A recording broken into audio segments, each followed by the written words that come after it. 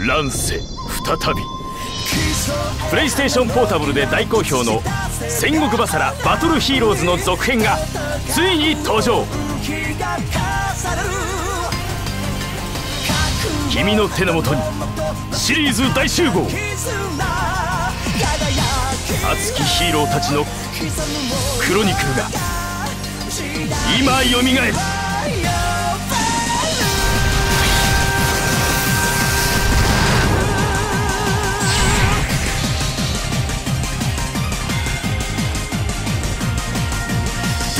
天下上等。出荷だ。燃えよ。我が槍我が魂。命の限り震えよ。新たに戦国バサラ3から徳川家康石田三成が参戦。わしは人なろう。夜をも癒せる人なろう。秀吉様あの者を残滅する許可を私に簡単操作でスタイリッシュなアクションがさらにパワーアップ。空中牽制技空中ガード空中弾き返しを使い大空を前。天下統一戦記モード。乱世を治め頂点を目指せ。クロニクルステージではよりすぐりの熱い名場面を再現。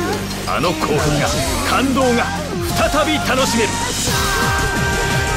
アドホックモードで通信対戦協力プレイで盛り上がれ。チームバトルの興奮を最大4人の仲間と共に分かち合え。見よシリーズの集大成。戦国バサラここにあり。己が手で天下をつかめ。戦国バサラクロニクルヒーローズ。2011年7月21日発売予定。戦国バサラシリーズ公式ツイッターも絶賛つぶやき中。